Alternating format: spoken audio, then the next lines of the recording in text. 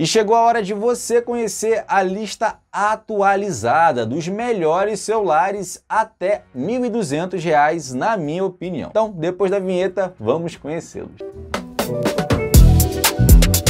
E é bom sempre lembrar que os preços dos celulares estão sempre mudando. Então, dependendo do momento em que você estiver vendo este vídeo, possa ser que os celulares estejam com um preço mais alto ou, quem sabe, né, até mais barato. Independente do caso, eu lhe aconselho você dar uma olhada nos nossos grupos de oferta do WhatsApp e Telegram, que lá a gente sempre disponibiliza boas ofertas de celulares e outros aparelhos também e assim você fica sempre ligado em boas promoções. E um outro ponto também que, para não ficar sempre repetindo, já quero dizer que tem muitas semelhanças em vários dos modelos que eu irei aqui mostrar. Só um com uma diferença entre os outros. E o que tem de semelhante entre eles? Uma tela de 6.4 polegadas, do tipo Super AMOLED, uma taxa de atualização de 90 Hz, uma bateria de 5.000 mAh, slot de chips, né, para você colocar o seu chip de operadora, com dois espaços para isso e um espaço para o cartão de memória micro SD. Esta semelhança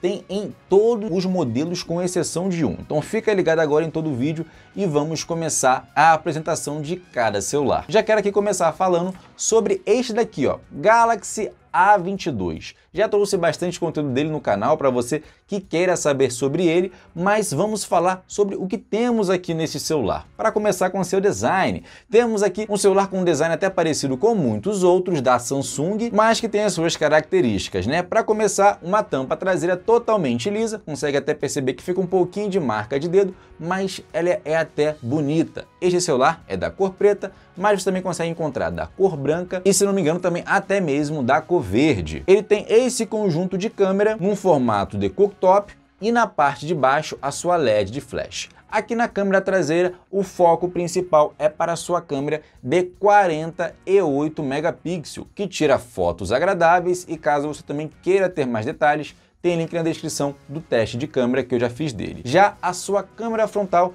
é de 13 megapixels e este celular consegue gravar em Full HD, tanto na câmera traseira como também na sua câmera frontal. Ele vem com o processador Helio G80, um processador que é bem legal para esta faixa de preço de celular, o que ajuda na fluidez do celular para a sua jogatina caso você goste, e tudo isso combinado também com 4 GB de memória RAM facilitando que você consiga deixar vários aplicativos abertos ao mesmo tempo e o seu armazenamento interno é de 128 GB. E o próximo da lista é este aqui, ó, o Galaxy M22, outro lançamento recente da Samsung que você também consegue encontrar aí na casa dos mil e 200 reais. Diferente do Galaxy A22, ele tem esse design fosco, embora no aspecto geral seja muito parecido, ele não pega tanta marca de dedo, tem esse conjunto de câmera bem semelhante ao Galaxy A22, mas a sua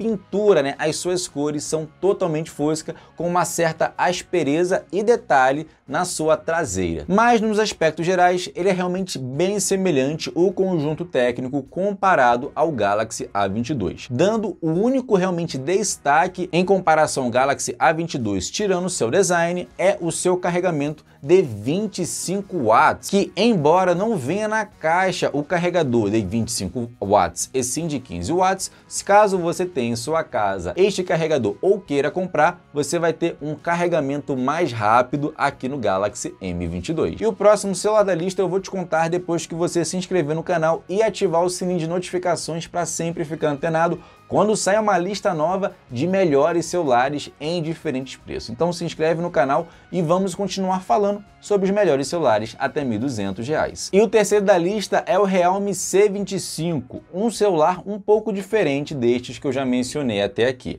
Ele vem com uma tela de 6.5 polegadas do tipo IPS LCD. Então temos aqui uma tela maior, mas de um tipo inferior comparado ao Galaxy M22 e A22 que eu aqui já mencionei. Para você ter uma ideia, a tela IPS LCD vai ter um brilho e também contraste de cores inferior à do tipo Super AMOLED, mas a sua resolução também é uma HD Plus e a sua impressão digital, diferente do Galaxy A22 e M22 que temos aqui na lateral, é na sua parte traseira, mas também é uma impressão digital de forma de botão. O seu processador é o Helio G70, que é muito parecido com o Helio G80, porém um pouquinho inferior, mas é muito pouco mesmo, quase nem é notado. O seu design no aspecto geral é até parecido com o Galaxy A22 e M22, com diferença que temos uma lente de câmera a menos comparado aos outros modelos. Sendo grande destaque a sua câmera também principal de 40 48 megapixels na traseira e a sua câmera de 13 megapixels na frontal. Ambas também gravam em até Full HD. Mas realmente o grande destaque aqui do Realme C25 é a sua bateria. Temos aqui uma bateria de 6.000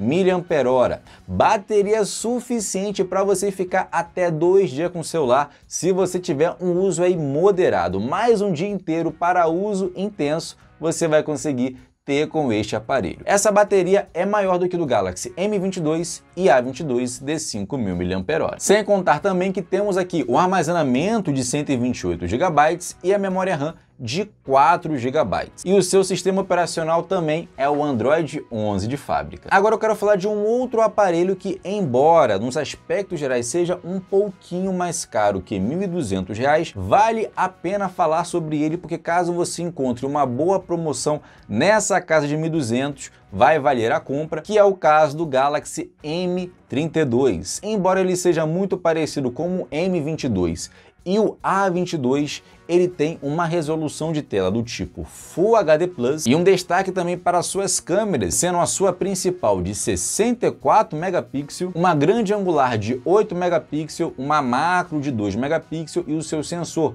para tirar foto no modo retrato de 2 megapixels e já a sua câmera frontal é de 20 megapixels. Então temos aqui um celular intermediário com uma qualidade um pouco melhor do que os outros aqui mencionados, mas é claro, né, também um pouco mais caro, mas caso você encontre uma boa promoção, vai valer muito a pena o Galaxy M32. O design também ele é muito semelhante aos outros celulares da Samsung, o que não vai ser realmente um grande destaque para ele. E além de tudo isso, ele tem uma memória RAM de 6 GB, ajudando que você ainda consiga colocar muitos mais aplicativos abertos ao mesmo tempo, facilitando que o seu celular também não fique travando tanto, já que você tem mais memória RAM para poder utilizar. Bem, era estes celulares que na minha opinião vale a pena você ficar de olho, então dá uma olhada nos grupos de oferta, tem links na descrição também aqui de compra e eu vou ficando por aqui. Se gostou, deixa aí o seu like e também se inscreva no canal.